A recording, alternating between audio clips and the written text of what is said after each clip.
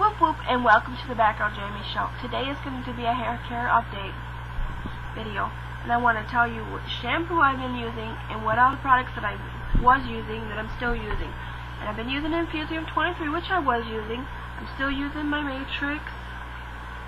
I was using my Matrix Biolush shampoo. I'm still using it until it's gone but it's almost gone so I went and got me some other shampoo and I will tell you what that is. I was using Suave Daily Clarifying do not use anything suave. Suave either makes sure really dry or really greasy, depending on what you use, and it leaves a residue, and it doesn't feel like it cleans your hair. The Daily Clarifying feels like it cleans your hair, but it feels like it strips your hair of all the oils in your hair.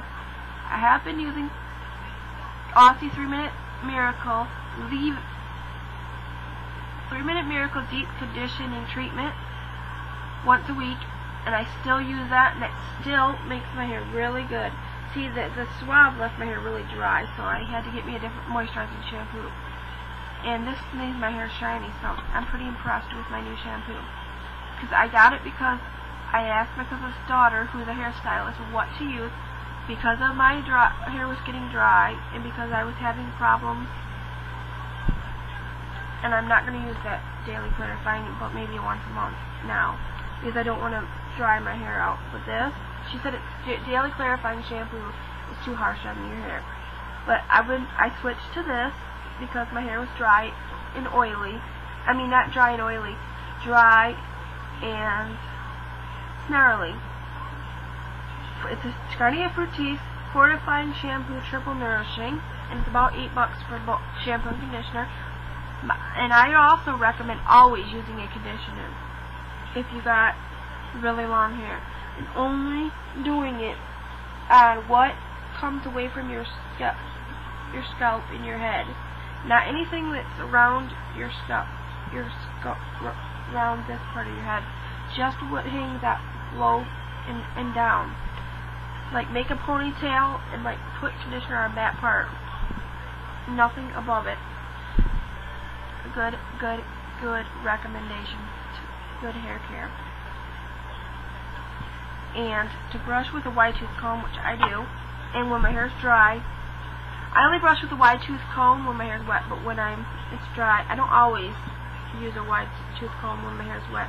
Sometimes I am in a hurry and don't have time, so I just grab this because um this is a Conair hairbrush and it's just a big flat brush, paddle brush, and it works great on my hair. It brushes it out. I noticed that my hair was easier to brush out once I changed the shampoo.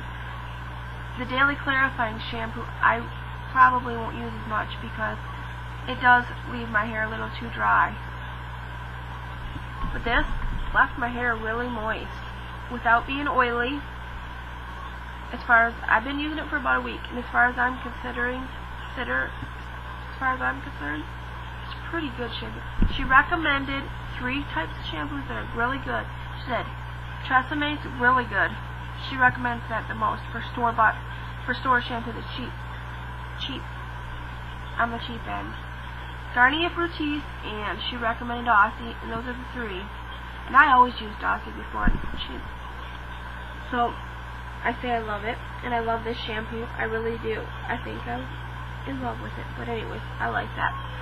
The three she recommended not using that's not really that great for your hair is Pantene, Suave, and Herbal Essence. And I did use Herbal Essence back when it first came out and it first started. The reason the reason people tend to not use it what it what your hair looks like in that commercial in the commercial sport is false advertisement because two things leaves are a buildup in your hair, and after you use it for so long, your hair looks dirty. Even if you wash it, it leaves a film in your hair that makes then your hair still feels dirty. It just feels grimy on your hair. That's why I hated it. it your hair feels grimy after using it and dull. It makes your hair dull looking. But um I've been and I use the infusium only on the ends of my hair they are dry, just for extra moisture so that that part of my hair is smooth and not crispy and dry. And that's how I take care of my hair. And I leave, and if I'm gonna blow dry or um straighten my hair, I have a John Frieda